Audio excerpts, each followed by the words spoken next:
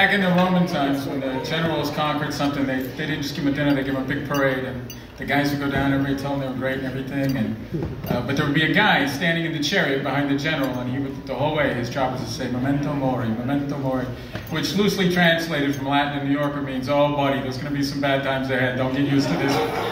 So, uh, you know, I, I wish the BWAA, when they gave me this award, would have got me one of those guys too.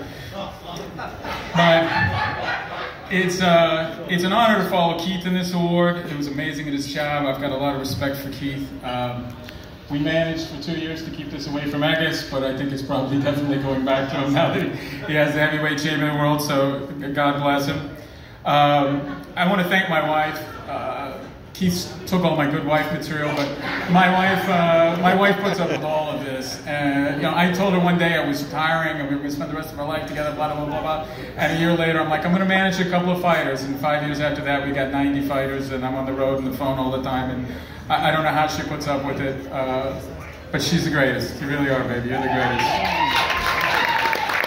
Um, and I want to thank my parents and my grandparents uh, who built our family really from the ashes of the Depression and the Dust Bowl in Oklahoma. And they built it on a foundation of, of hard work and education. And those are gifts that never stop giving. And not to embarrass her, my little sister's here, who uh, is from that, that, that, great line. And of course, I want to thank the two Teofimos. Uh, guys, I have just a big enough ego to believe that I would have got here someday no matter what. I'm not stupid enough to think I would have got here this fast without you guys. Uh, to the thank you so much for believing in me and for really giving an old man some of the great joys of the second half of his life.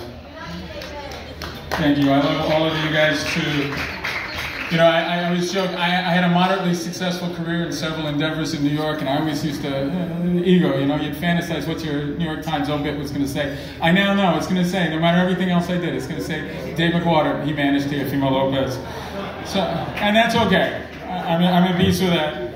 Um, so one of the focal points when we recruit for Split T is I tell people, you know, I'm not just some guy in a, in a living room with uh, his underwear making phone calls. You know, I have all these, we have a company, we're a company behind you. Although I did once say that to somebody while sitting in my living room with my underwear on, which got my wife to give me a big uh, eye, eye raise. But Joe Quiamba was the first guy ever with me, and he's been with me almost since the beginning. He's been wonderful.